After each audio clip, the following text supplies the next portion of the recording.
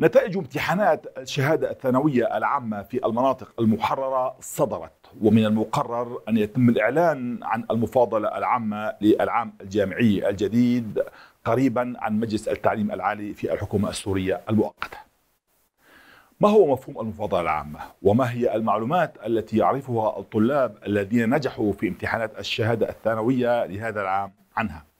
ما هي النصائح التي يمكن توجيهها إلى هؤلاء الطلاب أثناء التسجيل في هذه المفاضلة. هذه بعض الأسئلة التي نطرحها على ضيفنا في حلقة هذا الأسبوع من كراسات. تابعونا.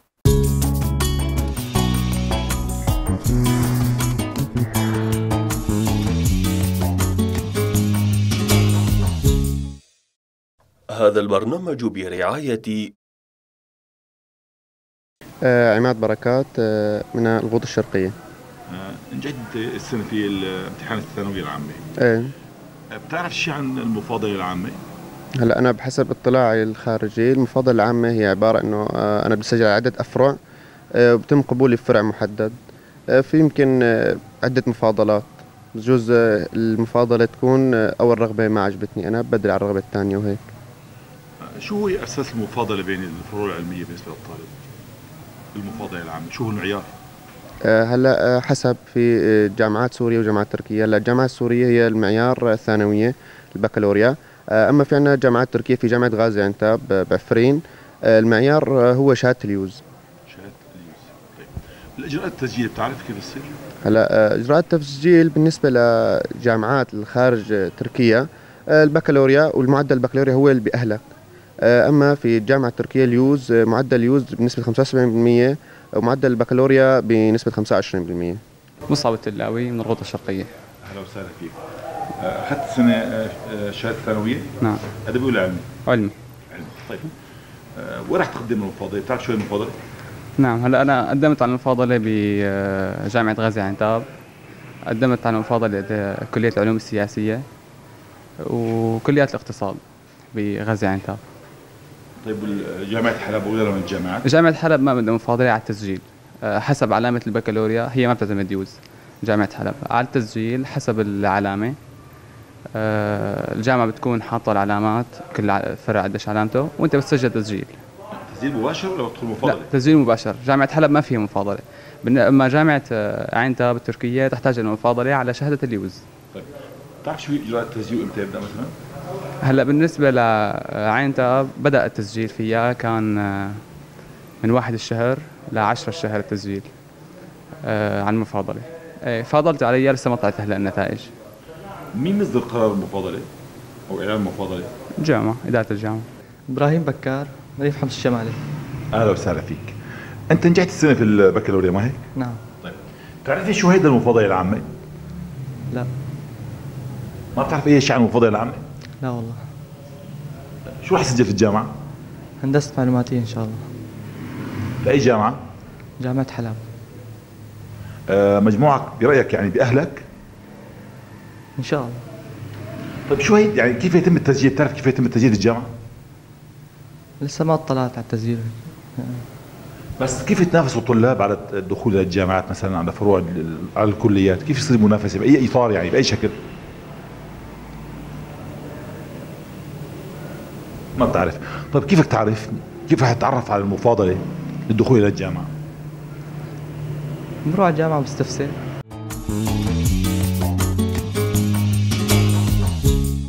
أعزائي المشاهدين أهلا وسهلا بكم إلى حلقة جديدة من برنامج كراسات عام جامعي جديد على الأبواب ومن المفترض أن يبدأ الطلاب الذين نجحوا في امتحانات الشهادة الثانوية العامة بالتسجيل في الجامعات في المناطق المحررة بعد إعلان مجلس التعليم العالي في الحكومة السورية المؤقتة معدلات القبول في المفاضلة العامة.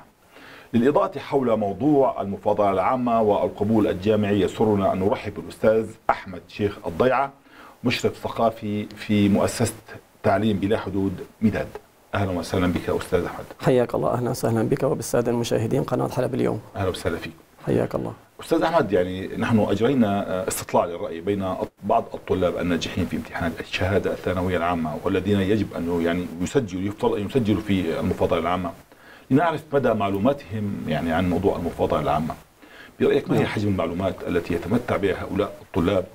وما هو مفهوم المفهوم الحقيقي للمفاضلة العامة؟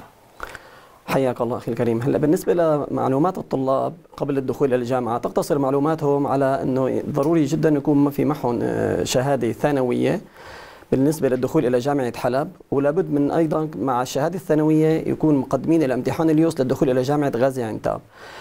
معلوماتهم إلى الآن تقريبا يعني تقتصر على هذين هذين الأمرين. بعد هذين الأمرين يعني بعد النجاح الطل- الطلاب يبدأوا يسألوا عن الأفرع عن الجامعات عن الأقسام. عندها تزداد معلومات الطلاب عن المفاضلة وكيفية التقدم للمفاضلة ال- الأولى طيب ما هي المفاضلة؟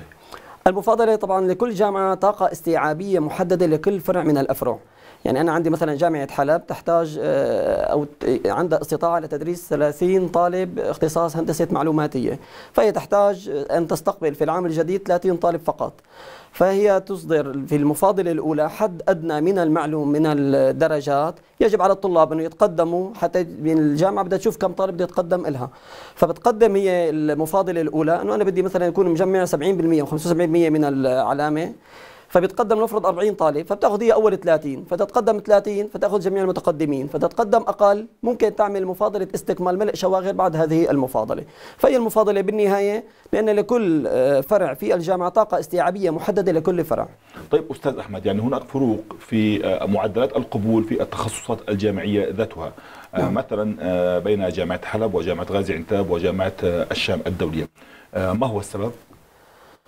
طبعا في عدة أسباب صراحة لهذه الفروق يعني برجع نحن نرجع نقول إنه في عندي تخصصات أنا مختلفة بين الجامعات هي النقطة الأولى، النقطة الثانية في عندي طاقة استيعابية لكل جامعة، يعني أنا في جامعات عندها قدرة استيعابية كبيرة لاستقبال عدد كبير من طلبة جامعة حلب، عدد الطلاب هي أكبر عدد ممكن بين الجامعات. ال- الأمر الثالث أيضا آه، غالبا الطلاب يرغبون في دراسة آه، بعض الجامعات أكثر من الجامعات الأخرى. فالجامعة المرغوبة خليني أقول عنها فهي بتكون معدلاتها عالية بالقبول. أما الجامعة اللي ما بتكون يعني في رغبة كبيرة من الطلاب للدراسة فيها فغالبا بتكون معدلاتها أقل من هذه الجامعات. طيب ما الذي ستقدمه منظمة التعليم بلا حدود مداد للطلاب الذين سوف يسجلون في المفاضلة العامة الجامعية لهذا العام؟ طبعا قبل قبول الطالب في الجامعة منظمة التعليم بلا حدود آه، تقيم ندوات ولقاءات كثيرة عن آه، دورات تعين الطالب على اختيار تخصصه الجامعي الذي يرنو إليه يعني قبل الدخول إلى الجامعة. عدة محاضرات ولقاءات كيف تختار تخصصك الجامعي. دورة تدريبية متكاملة للطالب. على أساسها ممكن الطالب يقرر على أي فرع ممكن هو يدخل آه، اللي في ميول وفي رغبات له لهذا الفرع اللي بده يدخله. بعد قبول الطالب في الجامعة هناك منح طلابية من مؤسسة آه، تعليم بلا حدود ميداد آه، كفالة شهرية معينة له على آه، دراسته الجامعية في هذه الظروف الصعبة. وأيضا آه، لقاءات ومحاضرات توجيهية للطالب تعينه على آه، التحصيل العلمي الجيد خلال دراسته الجامعية. آه، يعني من هم الطلاب أو طلاب أي جامعة آه، سوف يستفيدون من هذه المنح أو ال- كما قلت المساعدات؟ غالبا المنح الطلابية موجهة لطلاب جامعتي حلب وغازي عنتاب. آه، طبعا يتم تقسيمها حسب النسبة المئوية لعدد الطلاب في كلتا الجامعتين. نعم. آه، طيب يعني أريد يعني أن أن تقدم بعض النصائح للطلبة الذين سوف يسجلون في الجامعات في المفاضلة الجامعية القادمة. نصائح عامة. طبعا هناك نصائح كثيرة يجب على الطالب أن يعني يتقنها قبل الدخول إلى الجامعة. الأمر الأول أنه هذا الفرع اللي رح يدخله الطالب هو مو حياة سنتين أو أربع سنوات وإنما سيعيش معه بقية حياته كاملة. فلا بد من الاختيار الجيد للاختصاص اللي رح يدخله الطالب خلال دراسته الجامعية. فالأمر الأول لابد أنه يحدد ميوله ورغباته بدقة. ما يتبع أي شيء آه ولا لا يضغط على الطالب باختيار فرع هو لا يرغبه أو ما بيريده. ولذلك الأمر الأول لابد من الطالب بالضبط يحدد ميوله ورغباته أي فرع هو بيحب إنه يدخل عليه ويدرسه. لكن لكن أستاذ يعني آه، ماذا لو أن معدل نجاح الطالب في آه، نعم. الثانوية العامة أو في اليوس لا يساعده على اختيار الفرع الذي يحبه؟ هذا ما سأصل إليه لرقم اثنين. الطالب يجب أن لا يكتفي برغبة واحدة. لابد أن يضع عدة رغبات متسلسلة حسب الأولى فالأولى يعني ما معقولة أنا والله الطالب خلال دراسته 12 عام من الصف الأول إلى البكالوريا بعدين يعني يحط رغبة واحدة وما تطلع له بالجامعة فيروح كل هذه السنوات. فلازم أول أمر بيحط هو رغبة أولى وبده يحط احتمال أنه ما ينقبل فيها. فلابد أنه يجتهد ويحط رغبة ثانية وثالثة ورابعة وخامسة. لذلك أنا أنصح جميع الطلاب خلال المفاضلات ما يحط رغبة واحدة ويقدم المفاضلة. هذا أكبر خطأ. جدول جدول الرغبات في نموذج المفاضله العامة يحتوي كم رغبة؟ أعتقد 15 رغبة يعني بيقدر يقدم هو 15 رغبة ضمن المفاضلة. هن بياخذوا الأولى إذا ما طلبت الأولى بينتقلوا مباشرة للثانية ما طلبت الثانية بينتقل للثالثة. فهذا أمر جيد بالنسبة له أما في طلاب يعني بيكتبوا رغبة واحدة أو رغبتين فقط. فإذا طلعوا له تقدم للجامعة ما طلعوا له ما عاد يقدر يقدم للجامعة ولا ما بيقدر يسجل بالجامعة. هذه مشكلة كبيرة هل عنده المفترض أن يتم استيعاب كل الطلاب الناجحين في امتحانات آه، الشهادة الثانوية العامة في الجامعات في المناطق المحررة؟ طبعا جميع الطلاب الناجحين لهم مقاعد ولكن قد ما يعني الطالب ما يلاقي التخصص اللي هو بده إياه يدخل عليه ولكن يقبل في الجامعة. نعم. يعني كثير من التخصصات جميع المتقدمين مقبولين هن لذلك أنا أنصح الطالب أكرر إنه لا يعني ضروري جدا إنه ما يحط رغبة واحدة يحط عدة رغبات بال- بالدخول. الأمر الثالث هو رسالة صراحة للأهل. لل يعني العائلة المحيطة بالطالب ورسالة للطالب. الرسالة الأولى للطالب قبل أن تدخل الفرع لابد من الاستخارة والاستشارة وت- وتجمع معلومات عن الفرع قبل أن تدخل الفرع. الرسالة الثانية يعني رجائي حار للأهل لا تضغطوا على الطالب باختيار تخصص هو ما بيرغبه لأنه ما رح يبدع فيه. ولو نجح ولو أخذ شهادة لن يبدع فيه مستقبلا. طيب آه، أستاذي يعني سؤال أخير آه، كم تخصص آه، في مجموع الجامعات الموجودة في المناطق المحررة حسب معلوماتك. وحبذا لو يعني آه، تعرف الطلاب والساده المشاهدين عن التخصصات الجديدة التي من المفترض أن تفتتح هذا العام في الجامعات في المناطق المحررة.